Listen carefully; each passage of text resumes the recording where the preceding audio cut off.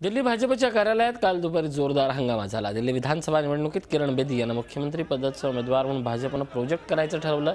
त्यासाठी भाजप नेते सतीश उपाध्याय यांचे समर्थक प्रचंड नाराज झाले असून त्यांनी भाजप कार्यालयात गोंधळ घातला.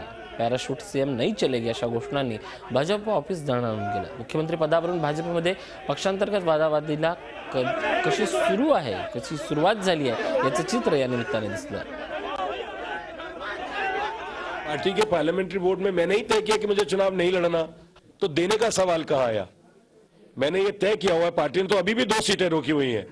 मेरौली है मालवीय नगर जहाँ मैं रहता हूँ। पर मैंने ये मेरा ये कॉन्शियस डिसीज़न है कि मुझे अ, अ, अगर सभी चुनाव लड़ेंगे तो पार्टी के उम्मीदवारों को चुनाव लड़ाएगा कौन? पार्टी अध्यक्ष हूँ मैं। सत्तर सीटों पर पार्टी को लड़ रहा है। सत्तर सीटों पर पार्टी चुनाव में जाने वाली है। और अगर अध्यक्ष चुनाव लड़ेगा तो सत्तर सीटों की चिंता कौन करेगा? झी चोवीस तास. रहा एक पाऊल पुढे.